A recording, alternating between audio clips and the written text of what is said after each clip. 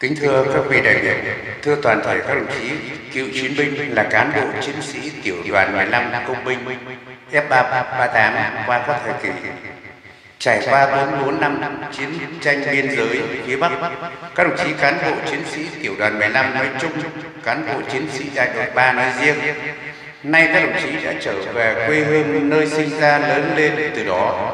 Giờ đây với mái tóc hoa dâm và đi cùng với ba chữ cựu chiến binh của một thời khói lửa.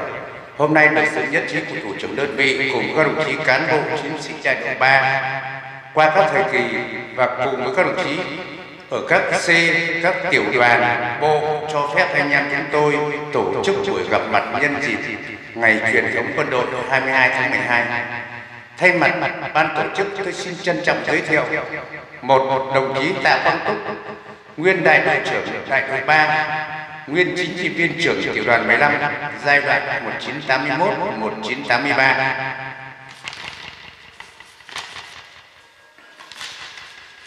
Kính thưa các thủ trưởng đơn vị, thưa các vị đại biểu, thưa toàn thể các đồng chí, mùa hè năm 1978, sư đoàn 338 từ quân khu 4 hành quân về huyện Đình Lập trở thành một đơn vị trực thuộc quân đoàn 14, quân khu 1, trong đó có tiểu đoàn 15 là một đơn vị phục vụ chiến đấu và chiến đấu gồm có 5C, C1 vật cản bom mìn, C2 công binh hầm hào công sự, C3 xe máy, C4 cầu phà và C5 lực nước. Một đơn vị hỗn hợp các binh chủng cũng như công việc nhiệm vụ khác nhau đòi hỏi cán bộ tiểu đoàn phải năng động đa tài các thủ trưởng lãnh chỉ huy đã đạt được nhiều thành tích xuất sắc. Chiến sĩ thì đa tài đa năng, đó cũng là người từ đó người dân huyện Định Lập cũng như các bệnh như bản mọi, bản chất bản lâm đầu, nơi địa đầu của tổ quốc. Rất kính phục.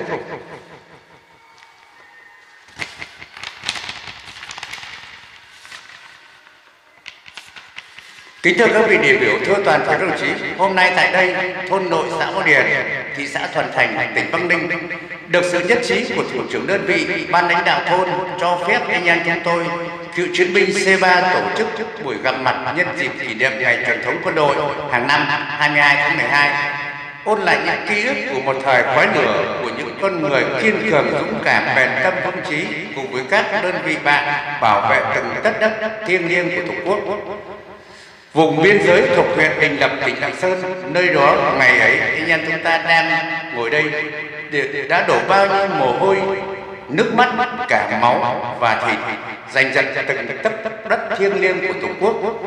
Cũng ở nơi đó, đã có biết bao nhiêu đồng chí, đồng đội đã ngã xuống hy sinh vì đất nước, khi còn tuổi vẫn còn thanh xuân trở được về đời thường hôm nay. Đây, anh em mình được gặp nhau, tuy mái tóc đã hoa dâm tay bắt mặt mừng. Anh em mình vẫn còn khỏe như ngày ấy. Thật khó có thể tả nổi. Nỗi mừng khôn xiết. Kính thưa các vị đại biểu, thưa toàn thể các đồng chí, niềm vui của anh em mình là vậy. Bên cạnh đó, vẫn trong đơn vị vẫn còn những đồng chí do tình hình sức khỏe và có ba đồng chí đã qua đời kính thưa các vị đại biểu, nhiệm vụ của người lính nặng nề nhưng rất vinh quang. Hôm nay đây các đồng chí đã trở thành các cụ công và những tấm gương sáng trong buổi gặp mặt ngày hôm nay. Cũng là một niềm vui cho bản thân và gia đình con cháu.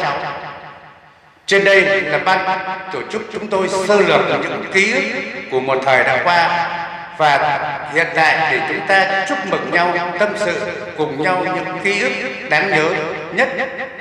Xin cảm ơn các vị, các bác, các anh, các đồng chí đã lắng nghe và tâm sự cùng với em C3 chúng tôi. Chúc các bác, các anh, các đồng chí và gia đình chuẩn bị đón một năm mới mạnh khỏe, an khang và thịnh vượng. Xin chúc buổi gặp mặt ngày hôm nay thành công tốt đẹp. Xin chân thành cảm ơn.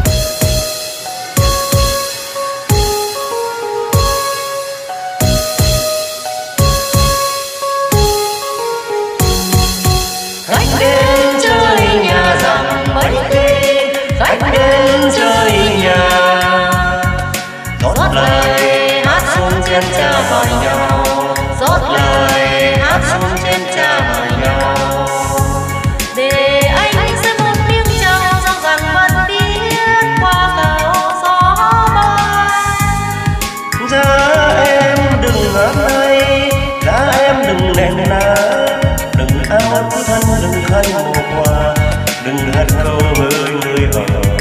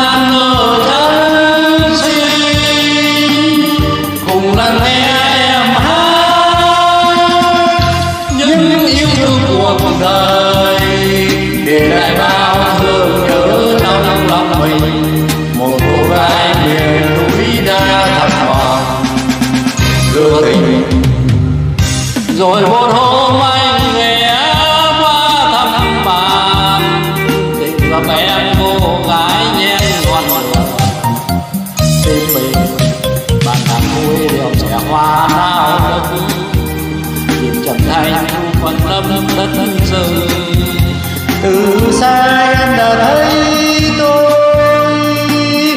Giờ qua vui em tới. Em cha tôi bằng bằng nhỏ. Và người người mình có thương tình tìm người thương thì hãy qua tháng hành sẽ bằng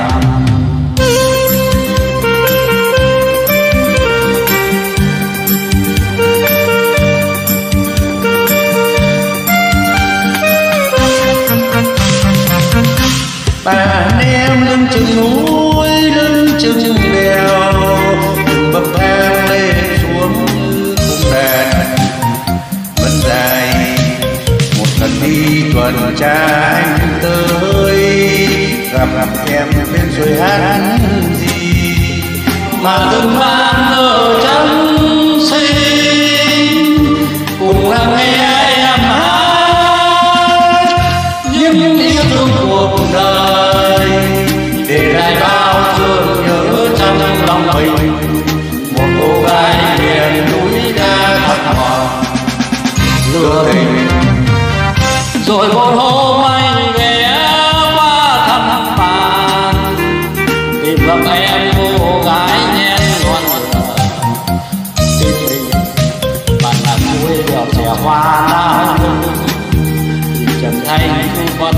đất rồi từ xa em đã thấy tôi giờ cuộc vui em tới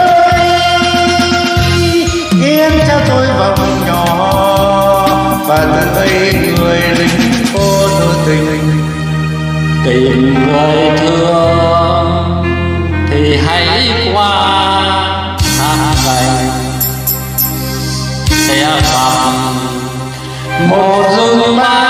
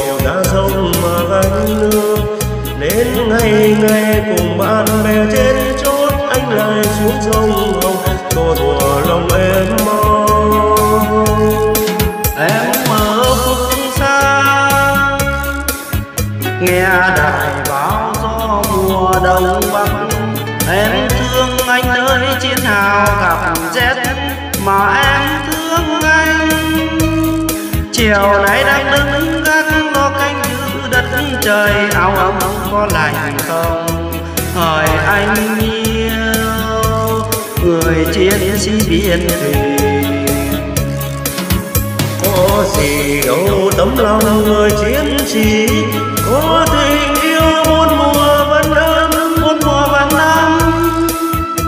Dù gió mưa dù gió mưa dù mùa đông dù mùa đông vì rằng anh vì rằng em. Luôn ở bên anh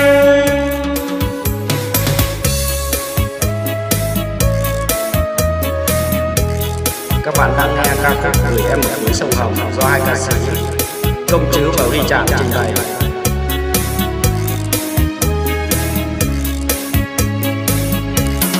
Em ở phương xa, nơi con sông Hồng chảy về với biển ở trên anh đồng nguồn biên giới cuối dòng sông nơi ấy quê nhà em ở phương xa cách mười sông ba núi bốn đèo, cứ chiều chiều ra sông mà gánh nước đem lòng mình gửi về miền biên giới sông chẳng nói nên lời nhưng nặng tình yêu thương. Anh ở biên cương sương lạnh giá biết mùa đông tới. Nơi quê hương em bước vào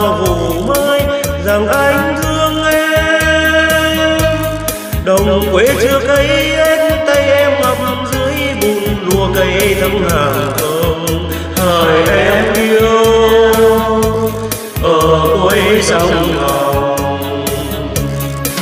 thấy dòng sông sóng màu lên sắc đỏ biết là em nhớ về anh đó nhớ về anh đó là chiến công là chiến công là niềm tin là niềm tin. là tình yêu.